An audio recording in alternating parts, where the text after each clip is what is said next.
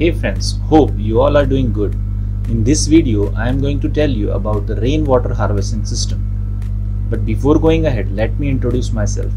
I, Chetan Shirsagar, NHS professional, welcome you all to my YouTube channel of Knowledge Factory, where we share knowledge related to environment, health and safety. Please subscribe my channel and press the bell icon button for more latest interesting videos. And don't forget to like and share this video.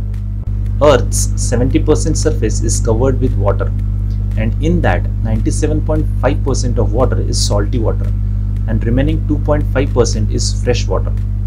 Out of this 2.5% fresh water, only 1% water is easily accessible.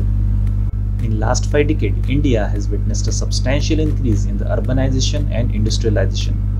Its population has also increased significantly. So is the case with Indore city. This has resulted in the increase in water demand and decrease in the groundwater level. One of the IIT civil engineer and urban water expert has conducted a study in Indore's water supply situation. He discovered that the current water supply model prescribed by the Asian Development Bank is unsustainable and very costly.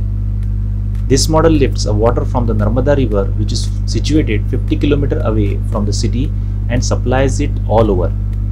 That is why Indore Municipal Corporation is now focusing on the cheap and sustainable alternative of recharging groundwater by implementing rainwater harvesting system in Indore city.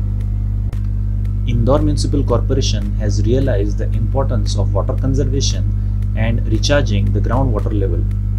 That is why they have asked all of the colonizer to install rainwater harvesting system on all of the residential units of their colony by 30th May 2022 and to contribute in the IMC initiative of water conservation.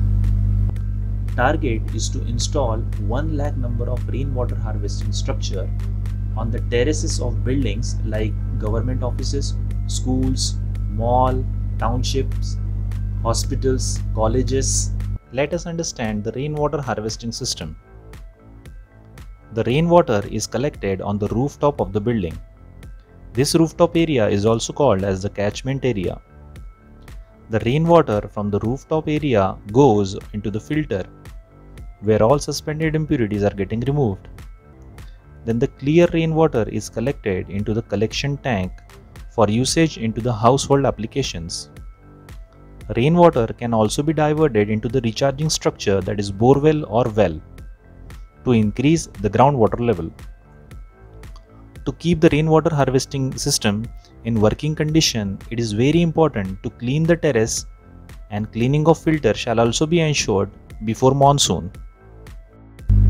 In my earlier video of World Water Day with the theme of making the invisible visible, I have requested all of you to run a campaign of My House, My Rainwater Harvesting Structure.